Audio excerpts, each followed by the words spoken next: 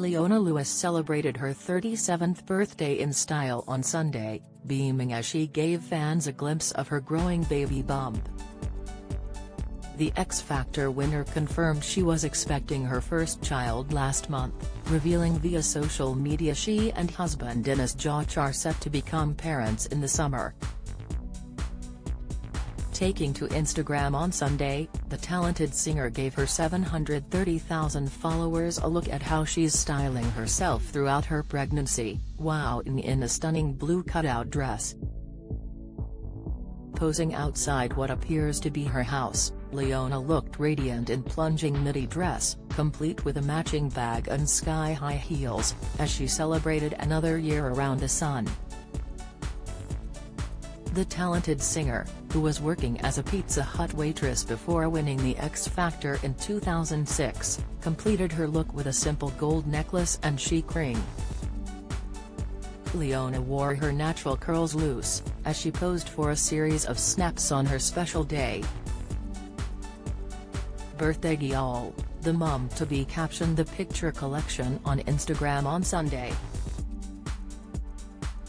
The Bleeding Love singer first met husband Dennis in 2010, when he was working as a Labyrinth tour, and the pair announced their engagement eight years later. They tied the knot in 2019, exchanging vows during a stunning Tuscan ceremony. Mum-to-be Leona previously expressed an interest in adopting when discussion her plans to start a family. I do want children, but Dennis and I have also talked about adopting, she once revealed in a past interview. My mum grew up in a children's home. No one adopted her as a child and I would very much like to adopt but I'm still figuring things out. If it was up to my husband, we would have had kids yesterday.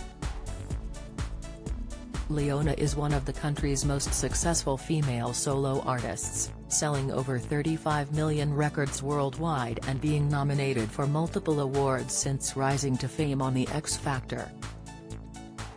The multi-talented artist became the first British female solo artist to reach the top five with eight singles, surpassing Olivia Newton-John's record of seven. However, in 2014, the Hackney-born star parted ways with music mogul and former mentor Simon Cowell, after feeling like she was at that stage all they were doing was holding me back from fulfilling my potential. They weren't giving me any choice. So no, I said, we're done now. It's all good, I've still got so much love but we're done, she told The Independent at the time. Simon probably doesn't even know what went on in that way, but I felt disrespected and I felt it was a very callous way to act when all I was trying to do was do what I loved. I was in limbo and that's the worst place to be. You can't leave me hanging on a string. Leona went on to sign a new record deal with Universal. Do you have a story to sell? Get in touch with us at webcelebs at mirror. Co.uk or call us direct at 0207 29 33 033.